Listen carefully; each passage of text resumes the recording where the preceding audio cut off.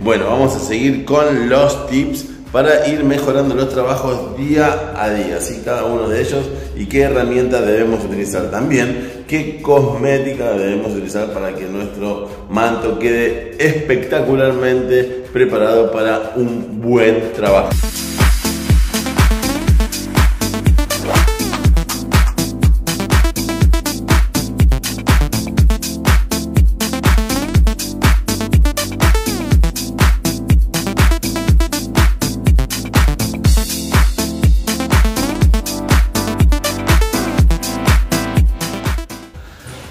Caso voy a darte otro tip muy importante para preservar la salud del perro. Siempre debemos preservar la salud de nuestro cliente, ¿sí?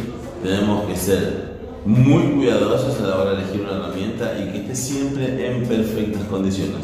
Acá tengo una maquinita muy linda también de la línea de oveja negra que está buenísima, me permite hacer retoques muy delicados y con una precisión increíble. ¿Por qué le elijo? Porque es liviana, me permite una rápida reacción, ¿sí? y además porque si pueden observar el tamaño que tienen las cuchillas, el que tiene el peine, la separación entre dientes es similar a una lámina 40. Eso me va a dar seguridad a la hora de pasar en lugares ¿sí? delicados como por ejemplo la oreja, ¿sí?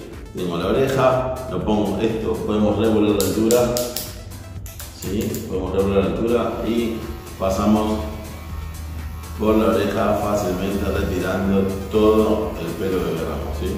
Por la parte, tanto por la parte exterior, ¿sí? Como por la parte interna, ¿sí? Lo paso con total seguridad porque sé que no en el medio de los dientes no va a entrar ningún pedacito de piel y que pueda lesionar al perro. ¿sí? Además de todo es silenciosa con muy poca vibración lo que hace que no moleste al oído del perro cuando la pasamos por ahí.